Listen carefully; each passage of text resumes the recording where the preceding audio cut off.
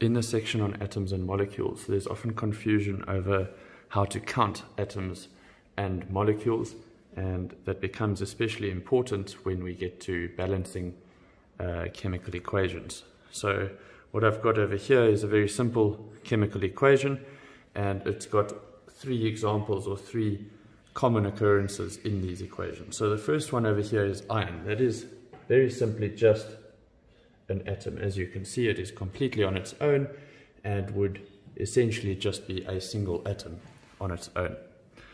Second, we've got over here, we've got hydrogen, which as we can see is H2, which means that that is a diatomic element. Diatomic elements we know are elements that are always found bonded to themselves in nature, and that forms a diatomic molecule that has two hydrogen atoms that are bonded to each other.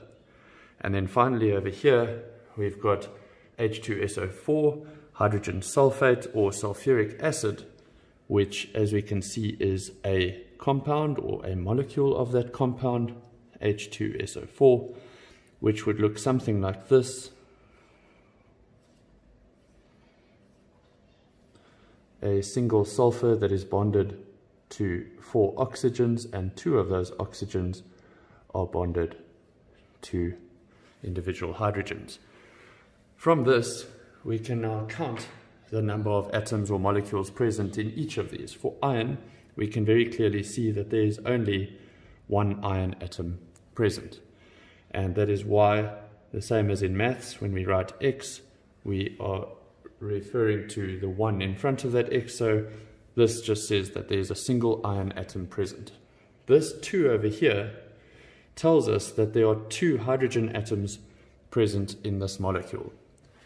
And the same notation applies here. This 2 after the hydrogen tells us that there are two hydrogen atoms present.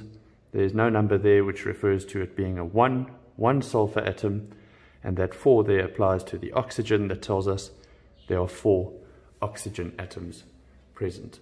So that is how we count the number of atoms that are inside a molecule. Now when you look at a balanced equation as we have over here, you will see that not only are there numbers inside the molecules, but now we also have numbers that are in front of the molecules. Those are known as the coefficients, and they are used to count the number of that molecule. So when we see a 2 over here, what, tell, what that tells us is it says there are 2 of everything that follows. In the same way as this 3 in front of H2SO4 tells us that there are 3 hydrogen sulfate molecules. Again, if there is no number present, then we assume that that means that there is a 1 there, telling us there is one iron sulfate molecule. And this 3 over here tells us that there are 3 hydrogen molecules present, which then tells us that technically there are three diatomic hydrogen molecules, which means that there are then six hydrogen atoms. Just a final note on iron sulfate here. We can see that iron sulfate contains brackets inside it.